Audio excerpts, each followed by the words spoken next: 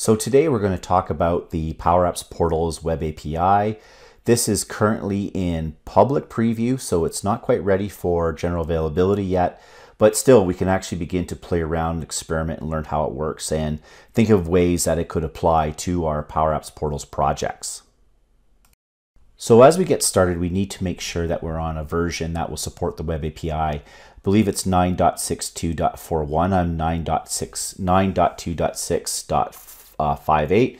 So we should be good to use the Portal Web API on this particular portal.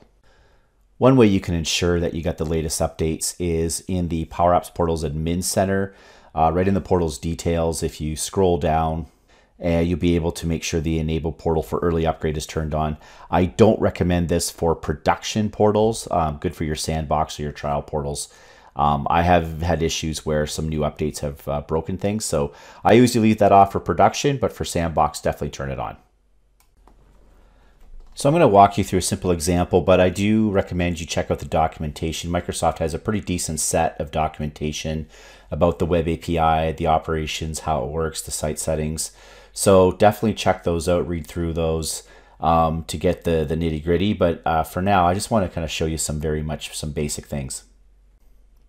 So this doesn't really relate to the portal, but it's the application that I built to track time entries. And this is what we're going to use as our use case for our portal. So I've created a Canvas app where I can track particular items against particular projects that I'm working on. Uh, this can typically run on my phone so I can update my time from anywhere. And what it does is I'll put, it'll create an entry called a time entry and I will be able to um, put some details in on that and then save that to uh, the data to DataFlex Pro, formerly known as the Common Data Service. So here's where that record looks like in a model-driven app that's talking to DataFlex Pro. So in the model-driven app, this is where we do the more advanced things like the project management, my invoicing, and a bunch of others. And you notice I've added an approved button there. So this is part of our use case. What we want to do is get our customers to approve our time entry systems that we put into the system. Now we're going to get them to do that on a portal. So if I was just creating a straight up portal app, what I could do is create a list component and a form component um, to update this information. And then you could do it pretty quickly. However, I want to be able to make it a little bit more slicker, a little bit more elegant. So all I'm doing here is I'm creating a web template. Um, I have a few uh, blog articles of how to set that up. It's using the fetch, so I'm retrieving my time entry data that's linked to that particular project. Uh, once I get that fetch, I'm going to go through all of those records and render those in an HTML table on the portal. So pretty straightforward stuff in terms of using Liquid and web templates. If you've done anything with Power Apps portals and extended a little bit, you should find this fairly. You should be fairly comfortable doing this kind of thing. So of course, if you've worked with Power Apps portals, you know that if you're using the fetch in Liquid, you're going to need to set up entity permissions. That's good, uh, good advice no matter what you're doing. So here I've picked my time entry review. I can give it any name. I picked my entity name, which is the RBMS underscore time entry. That's the entity we're working with. And for the privileges, I need at least uh, read, but I'm also going to add write because we're going to update that data from our portal using the portals API. I've, I've basically given it all permissions for now, but of course we would fine tune that for fine tune that for a particular project. But we do need entity permissions. And once you set up your entity permissions, of course, assign it to a web role. For now, I'm just going to assign it to the administrators, but you would need to set up a web role and associate that to your contacts that you want to have access to the particular page or the data that you want to update with the Portal Web API. So of course, once you create a web template, you need to create a corresponding page template. I won't get so much into this to this video here about that. Check out the Microsoft Docs or MS Learn. Um, it's pretty good explaining that whole process, but at any rate, we do need to create a page template. And then finally, I'm going to go into my Power Apps Portal Studio. And here I'm going to create a brand new web page. And then for that web page, I'm going to use the Portals Web API template that I created that should be now part of your studio so you can add that in and see it's already been rendering. If I wanted, I could actually go into the components and I can edit the web template directly in the studio. I can't yet create web templates. Uh, that might be coming down the road. Um, you could use this or you could use the XRM toolbox. It's really a matter of personal preference of where you wanted to edit your web templates. So now when we browse to the portal, we can see our time review page. We see a listing of our time reviews entries. We see the checkbox because we're running that HTML. Now we can't do too much with this yet because we need to look at the code and how that's all wired in to use the web the portal web API. So we're finally getting to the good stuff. So what we have to set up in the portal management app, which of course is that model driven app where we set up portal metadata, we're gonna have to add some site settings. There is an inner error there, which is set to true. We only need to set that up once. And then for each entity that we're going to want to use the Portal Web API for, we're going to need to set up that Web API site setting and enable it, and then also specify the fields. Now you'll notice that for the particular fields for that entity, I chose star, which means all the fields are accessible.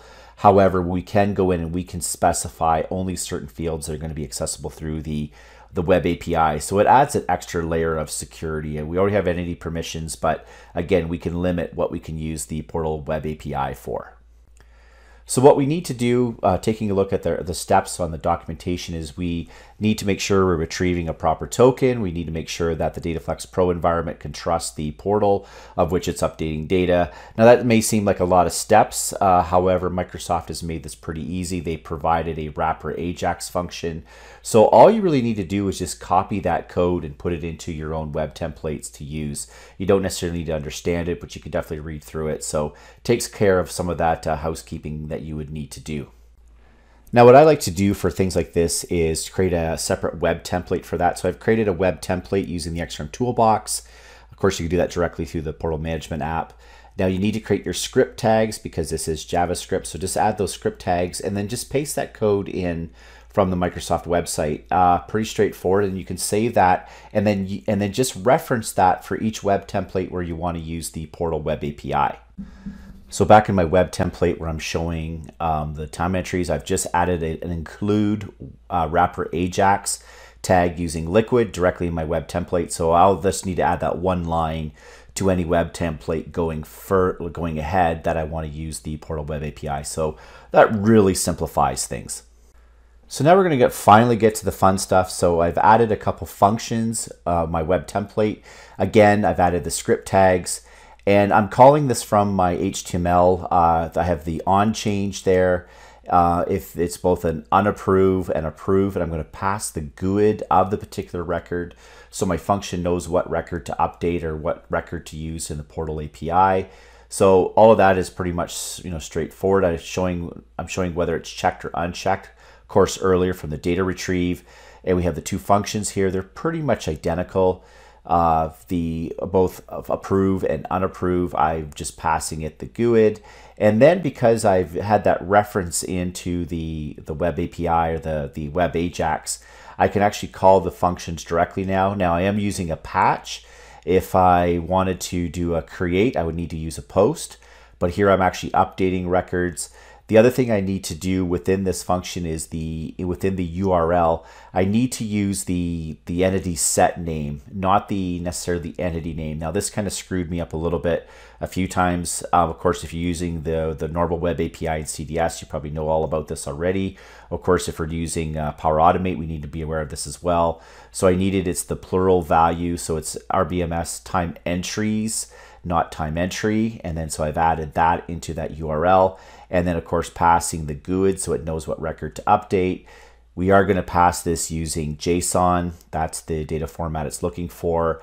We're going to stringify and we have the entity, the field name, RBMS underscore approved, and it is a Boolean field, so that's why we're passing it the value of true. We're only updating one field here. I could, of course, update multiple fields. I just really want to keep this simple to get you guys going with this. And of course, there is some other stuff. There's some success in the console log. So if we are troubleshooting in our browser, we can just hit F12 and see what the response was from the Portal Web API. And of course, the unapprove is a little bit different. Instead, we're passing the false value to that Boolean value. But of course, this could be number, string, or objects, or whatever else. And again, I just want to keep this example really simple to get us going. So I'm back here at my model-driven app um, to that particular record we added earlier, of course, using the Canvas app. So we're tying in all three of our Power Apps portals types here.